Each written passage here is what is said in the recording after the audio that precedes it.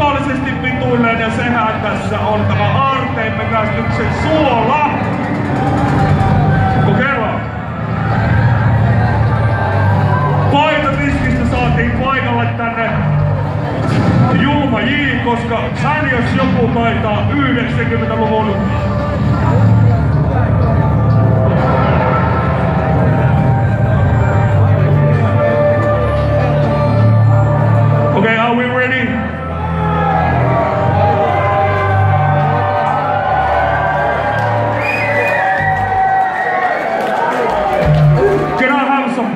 drum first of all?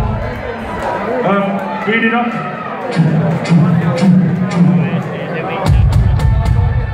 Okay.